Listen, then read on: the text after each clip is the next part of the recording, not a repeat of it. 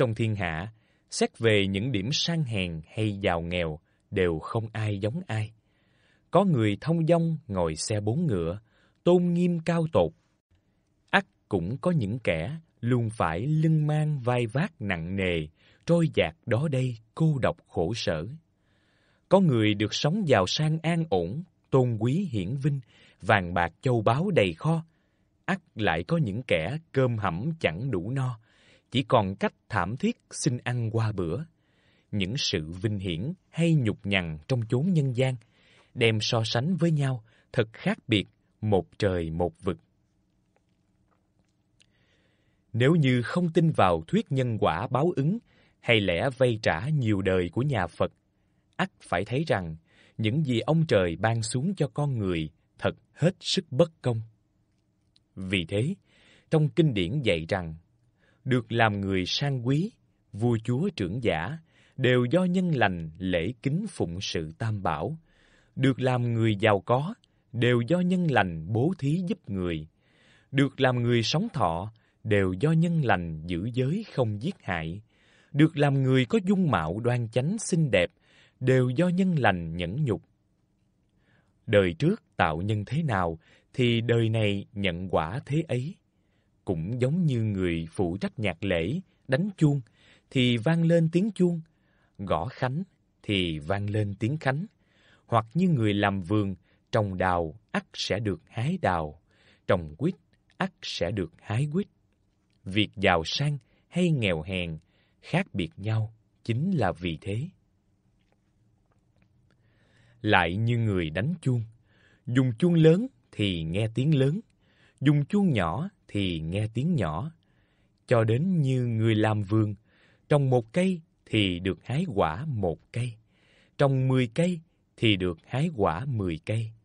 Việc giàu sang hay nghèo hèn cũng có mức độ khác nhau, chính là vì thế. Ngày nay, ta nhìn thấy có người còn nhỏ tuổi đã đỗ đạt cao, được hưởng chức quan cao, bổng lộc nhiều, Ấy là do người ấy, đời trước ham thích làm việc thiện, không chán mệt, rộng tu phước đức. Nếu không phải nguyên nhân là như vậy, thì trời xanh kia sao lại riêng dành sự tốt đẹp cho những kẻ làm quan? Những người được ở địa vị cao, dựa vào quyền thế, có thể kêu gọi sai khiến người khác, nên muốn làm thiện, ắt đủ sức làm thiện, mà nếu làm ác, cũng thừa sức làm ác. Điều này cũng giống như việc dùng các loại thuốc nhân sâm, phục linh, có thể giúp người được khỏi bệnh, nhưng dùng không thận trọng cũng có thể gây bệnh. Vì thế nên Mạnh Tử mới nói rằng, chỉ những người có lòng nhân mới nên ở địa vị cao. Hơn nữa, chức tước phẩm trật càng cao thì việc giết hại vật mạng để nấu nướng ăn uống hàng ngày, tiệc tùng chiêu đãi khách khứa bè bạn lại càng thêm nhiều. Khi đến ở nơi nào thì các loài vật trên cạn dưới nước quanh đó đều phải chịu thảm cảnh băm vằm, cắt xẻ để lo việc ăn uống cho mình. Một ngày ở địa vị làm quan là một ngày có biết bao loài vật vô tội phải nối tiếp nhau chịu những cực hình phanh thay lóc thịt. Cho nên, các bậc quan cao hiền đức thuở trước thường khởi tâm thương xót sinh linh mà e sợ nhân quả. Tùy nơi đi đến, đều thiết lập những khúc sông dành cho việc phóng sinh, lại thường treo bản cấm việc giết mổ. Ban ra một lệnh, kẻ giết trâu bị phạt, thì đàn trâu đang run rẩy khiếp sợ, ắt được vui mừng sống sót khỏi sự mổ xẻ. Lại ban lệnh, cấm giết chó, thì biết bao con chó giữ nhà có nghĩa, thoát khỏi thảm cảnh bị chủ đền đáp bằng dao thớt, cho đến những việc như vây kín núi rừng rồi xua đuổi mà săn thú, tác cạn sông hồ để bắt cá. Người làm quan tốt đều nghiêm cẩn răng dạy, ban bố hiệu lệnh, ngăn cấm mọi điều kiện giết hại vật mạng. Chỉ sợ một mai, khi quyền chức không còn, thì dù có tâm thiện, cũng không có sức làm thiện. Vì thế, nên rộng khuyên hết thảy các vị còn đương chức, hãy mau mau gieo cấy hạt giống lành, nhân điều kiện tốt đẹp hiện có mà tạo phúc lành cho muôn người, đó là kính vân theo đức hiếu sinh của trời đất, hợp với lòng nhân từ khoan hậu của triều đình. Một khi nắm được quyền hành, lập tức rộng làm âm đức. Nếu có thể cứu được mạng sống muôn loài, thì chớ nên do dự chậm trễ mà bỏ qua. Những ai giữ chức quan cao thì nên khuyên răng thuộc cấp nghiêm cấm việc giết mổ. Những ai chức phận nhỏ nhoi thì nên thưa thỉnh với cấp trên xin ngăn sự giết hại vật mạng. Nếu có thể giữ đức nhân từ truyền lưu muôn kiếp, ắt được ghi tên trong sổ thiên tào, có nghĩa là làm việc ân đức chỉ trong một đời mà được hưởng phước sâu dày trong nhiều đời sau nữa. Còn như khi sẵn có quyền lực trong tay mà không làm được như thế, thì có khác nào kẻ đi vào núi châu báu mà lại tay không trở về, chẳng lấy được gì. Khắc bia đá, lưu truyền đức nhân từ. Vào đời nhà đường, có ông Nhan Chân Khanh, tên tự là Thanh Thần, rất giỏi môn thư pháp. Ông kính tinh phụng sự Tam Bảo, đã từng thọ giới với thiền sư Tuệ Minh ở Hồ Châu. Vào niên hiệu Càn Nguyên năm thứ ba, vua Đường Túc Tông thiết lập các ao phóng sinh trong nước, tính ra ở khắp các quận huyện, các bến sông quan trọng hoặc các vùng ven sông, ngoại thành, tổng cộng có đến 81 chỗ. Mỗi nơi như vậy, Nhan Chân Khanh đều xin vua ngự ban văn bia khắc vào bia đá để truyền lại đời sau không bị hư hoại. Ông làm quan đến chức thượng thư hữu thừa, được phong tước lỗ quận công là bậc danh thần một thời. Lời bàn Khi lập ao phóng sinh, nên xin với quan trên cho dựng bia đá, ghi rõ hết thảy thuyền đánh bắt cá đều cấm đến gần, như vậy mới có thể tác dụng dài lâu. Những văn bia mà nhan lỗ công đã xin vua ban cho, tuy nói là hoàng đế ngự chế, nhưng thật đều do chính tay ông viết.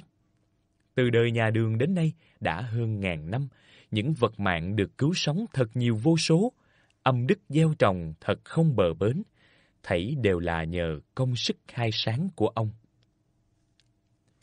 Cá khóc cảm động người Đời nhà Tống, ông Phan Hoa là quan huyện lệnh ở Chư Kỵ, tu tập theo sám pháp phổ hiền, ban lệnh cấm bắt cá. Khi ông Vân Chiếu sắp về Kinh Thành, bỗng nằm mộng, thấy có hàng vạn con cá trong sông đều khóc lóc mà thưa với ông rằng, trưởng giả, đi khỏi đây, dòng họ nhà cá chúng tôi không khỏi bị giết hại nấu nướng. Nói rồi càng khóc to, tiếng vang động trời. Ông phan hoa lấy làm lạ, liền viết ra bản văn mộng ngư ký, kể lại giấc mộng nhìn thấy loài cá, rồi dặn dò vị quan kế nhiệm tiếp tục duy trì lệnh cấm bắt cá lời bàn. Tấm lòng của các bậc thánh nhân, lẽ nào lại không muốn cho tất cả muôn loài đều được sống an ổn? Chỉ có điều là, tình trạng của các loài được nuôi chỉ để giết thịt như dê, lợn, gà, vịt, thật khó có thể cấm người ta giết hại. Còn các loài thú như trâu nuôi để cày ruộng, chó nuôi để giữ nhà, hoặc các loài sống trong tự nhiên dưới nước không do người nuôi dưỡng, tất cả đều có thể ngăn cấm, không cho giết hại. Nên có sự chuẩn bị trước nhiều ngày, nêu rõ lệnh cấm. Sau đó, nếu có người vi phạm, mang các con vật bị cấm giết hại đi bán, thì bất cứ ai cũng có quyền tịch thu, đồng thời đưa cả tang vật và người bán đến quan phủ xét xử. Lại cấm người dân trong khắp địa phương không được mua những con vật ấy nếu có người vi phạm thì cho phép người đi đường bất cứ ai nhìn thấy cũng có quyền tịch thu đưa lên quan phủ xét xử. Điều quan trọng là phải có sự thưởng phạt nghiêm minh, trước sau không thay đổi. Nếu có thể thực hiện nghiêm túc thường xuyên như thế, thì người dân dù có muốn bắt giết vật mạng chỉ trong một ngày cũng không thể được. Như vậy gọi là ngăn cấm triệt để, chặn đứng ngay từ cội nguồn của sự giết hại. Hai lần sống lại Quận Ngô có viên quan tư lý nọ, bất ngờ bỗng lăn ra chết.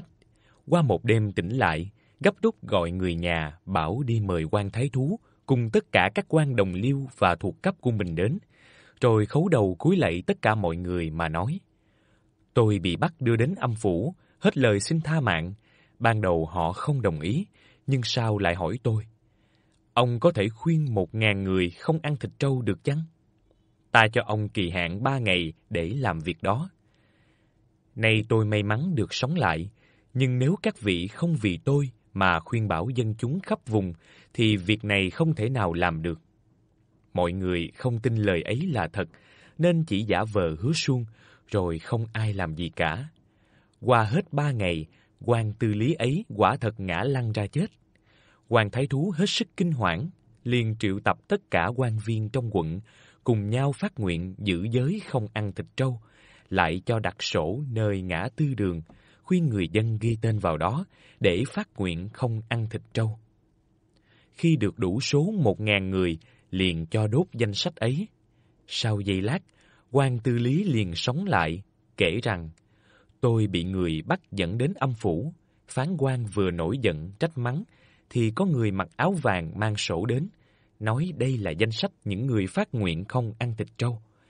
Phán quan xem qua, rồi hết sức vui mừng, nói Không chỉ cho ông được sống lại, còn tăng thêm tuổi thọ sáu kỷ nữa. quan thái thú cùng những người phát nguyện không ăn thịt trâu đều được phước báo vô lượng. quan tư lý ấy về sau sống thọ đến trăm tuổi. Lời bàn Trong thời gian gần đây, các quan đứng đầu địa phương cũng có ban lệnh cấm giết trâu, nhưng thiếu phương pháp thực hiện. Vì thế, cho dù bản cấm giết trâu treo khắp thị thành, mà những món thịt trâu cũng có khắp mọi nơi. Những người làm nghề mổ trâu chỉ vì tham mối lợi, nếu không cho họ được lợi, tự nhiên họ sẽ bỏ nghề. Nên sai phái nha dịch thay nhau kiểm soát khắp nơi. Nếu bắt được kẻ bán thịt trâu thì phạt tiền, dùng tiền đó thưởng cho người bắt được. Số tiền thưởng ấy phải lớn hơn số tiền nhận đút lót riêng tư của bọn mổ trâu. Như vậy thì nha dịch sẽ vui vẻ làm theo lệnh quan mà không nhận đút lót để bao che cho những kẻ vi phạm. Nếu không làm vậy, một khi nha dịch đã nhận của đút lót từ bọn lò mổ, thông đồng bao che cho bọn chúng, thì quan viên địa phương làm sao biết được, làm sao có thể phát hiện được? Cấm giết trâu được tăng tuổi thọ.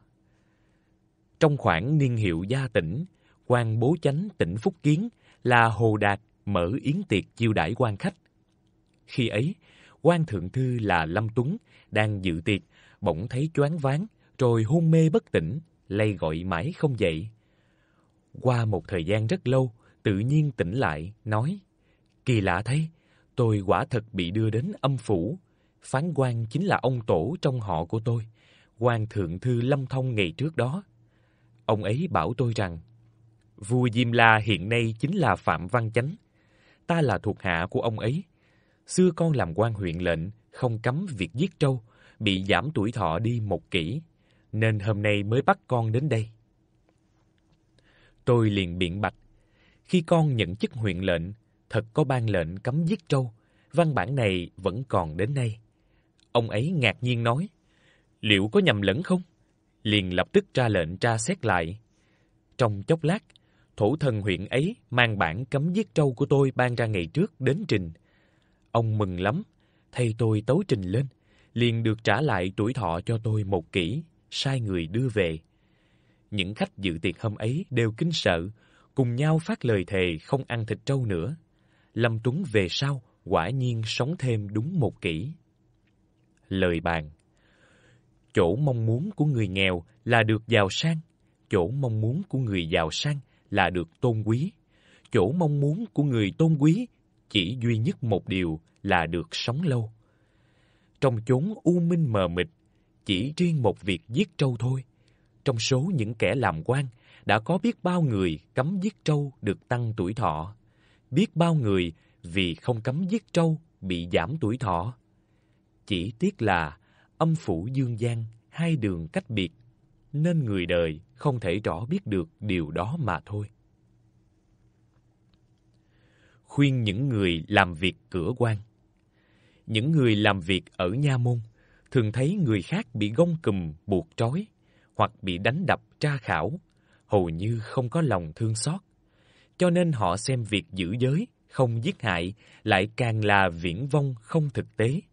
Vì thế, một khi có việc đi đến chốn xóm thôn thì bọn họ phóng túng, không chút kiên dè, thấy gà bắt lấy gà, gặp vịt cướp lấy vịt, thậm chí còn bức bách người dân phải bán cả con cái để có tiền cung phụng miếng ăn cho mình. Được thỏa mãn như vậy rồi, lại khoa trương những việc ấy trong hàng ngũ của mình, tự cho là tài giỏi, khiến cho thói hung bạo như thế ngày càng phát triển nhiều hơn. Họ đâu biết rằng đạo trời báo ứng trả vây không sai chạy, những kẻ hung bạo rồi không khỏi chết vì đau gậy, hoặc bỏ mạng trong lao tù, hoặc gia nghiệp tan tành, con cháu phải nghèo đói, xin ăn khắp chốn. Hết thảy báo ứng như thế đều do tâm địa độc ác hung tàn, khiến cho ngay trong đời này phải chịu những ác báo.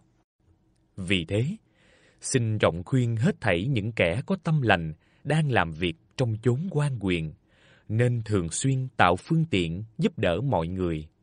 Thấy người khốn khổ có việc phải đến cửa quan, nên dùng lời từ hòa an ủi. Gặp kẻ thân cô thế cô chịu oan khuất, nên vì người ấy mà ra trước công đường bộc bạch oan tình. Đến như chuyện ăn uống, nói ra thật vô cùng, có biết bao nhiêu món đều có thể giúp ta ngon miệng no lòng. Nếu giết hại sinh linh, vật mạng, để khiến cho trời cao phải nổi giận, sao bằng canh rau đạm bạc mà được hưởng phước lành, tăng thêm tuổi thọ, lại có thể giúp con cháu đời sau hưởng phúc hưng thịnh. Người xưa nói, cùng một cánh tay có thể xô ngã người, cũng có thể nâng đỡ người. Cùng một miếng ăn, có thể giết hại, có thể cứu sống. Người hiểu rõ được lý ấy, có lẽ nào lại không suy xét kỹ. Đồng lõa với kẻ xấu bị âm phủ trách phạt. Vào năm Giáp Thân thuộc niên hiệu Sùng Trinh, Thiệu Thu Phương làm việc ở huyện Long Du. Bấy giờ quan huyện cấm việc giết mổ, bọn đồ tể trong làng sợ nha dịch tuần tra bắt gặp không để yên, liền hối lộ tiền cho Thu Phương để ngăn cản, bao che. Nhờ vậy, chúng vẫn có thể tha hồ làm việc giết mổ. Năm Ất Dậu, vào ngày 2 tháng 4, Thu Phương chết đi. Qua 7 ngày, bỗng sống lại, tự nói rằng mình đã đi đến âm phủ, nhìn thấy phán quan đang tra xét chuyện giết trâu. Bỗng có con trâu chạy đến cắn, lại thấy tên đồ tể tên Vương Thập Nhất cũng ở đó, có ý muốn đổ tội cho Thu Phương. Khi ấy, dao mổ trâu, chậu huyết bỗng nhiên hiện ra ngay trước mặt. Thu Phương liền cố hết sức kêu quan. Phán quan nói, cho dù ông không tự tay giết trâu, nhưng ngày hôm ấy, nếu không có ông bao che, bọn đồ tể ắt phải sợ quan huyện bắt tội, chưa hẳn đã dám giết trâu. Truyền tra xét lại, thấy tuổi thọ Thu Phương chưa dứt, liền cho trả về Dương gian, đợi sau khi chết sẽ trị tội. Lời bàn Đối với lệnh cấm giết mổ súc vật, nếu buông thả cho làm thì rất dễ.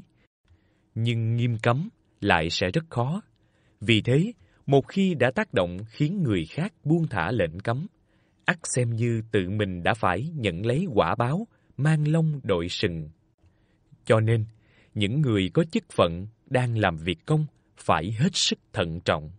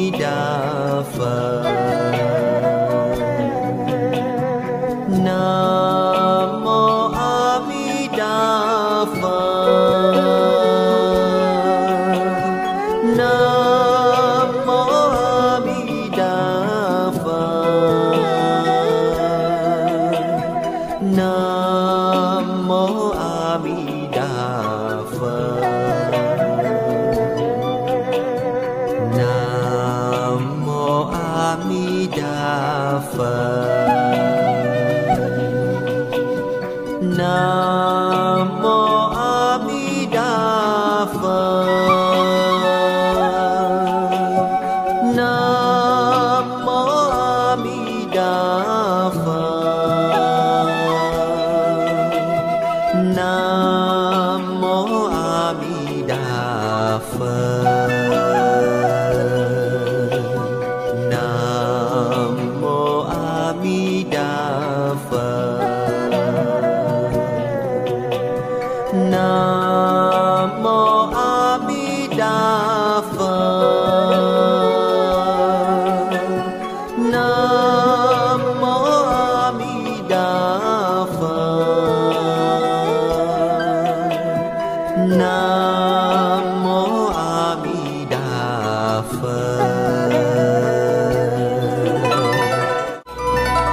Nam mô a